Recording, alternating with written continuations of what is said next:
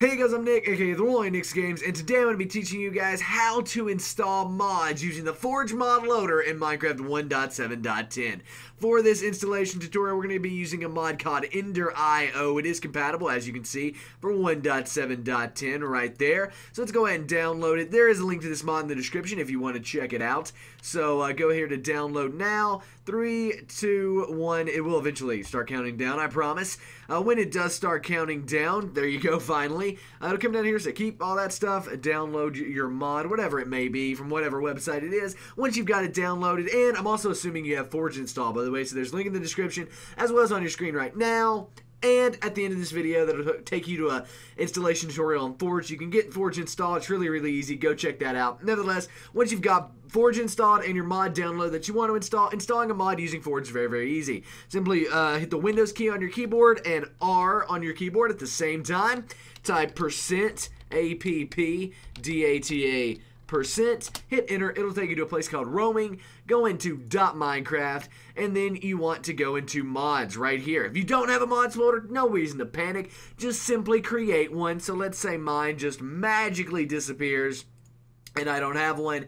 New folder mods enter. Now you can simply double click on that and take your mod in this case Ender IO and drag it over into your mods folder now if we go ahead and open up the Minecraft launcher, I'll show you guys how to launch Minecraft Forge. Once you're in the Forge mod loader, it's very, very easy to choose Forge. Simply go to the profile you want to play. In my case, that's going to be Dead Buddha. Hit Edit Profile, and then come over here to Use Version. We don't want to use Release 1.7.4, or probably what you're on, 1.7.10. We want to scroll all the way down to the bottom to Release 1.7.10-Forge. That's how we can launch Forge. Click that, click Save Profile, click Play, and bada bing, bada boom, we're launching Forge. It might show you a black screen, and I'll show you that here in a second. Um, and that's simply Forge loading up, getting everything ready. This black screen is normal. It'll show Mojang here in a second. There you go. I'll meet you guys in the game. Once you're in Minecraft, it's very, very easy to see what uh, what's going on here with your mods with Forge. Simply go into mods, and as you can see, right there it is, Ender IO, already installed, ready to go.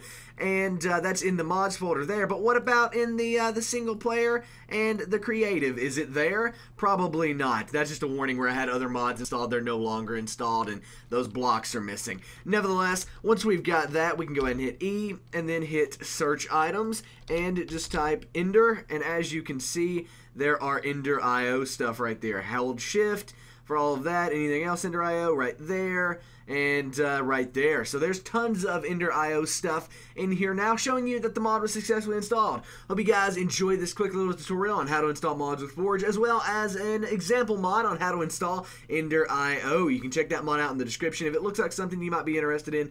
It's uh, basically a way to make machines in Minecraft. It's pretty cool. Anyway guys, I'm Nic's Games. Hope you enjoyed this video. If you did, please give it a thumbs up.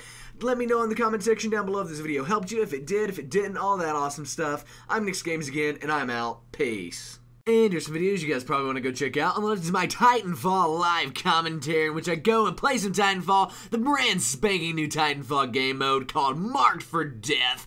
And uh, it's pretty good. I actually had some fun playing that game, and uh, yeah, I hope you guys will go check it out.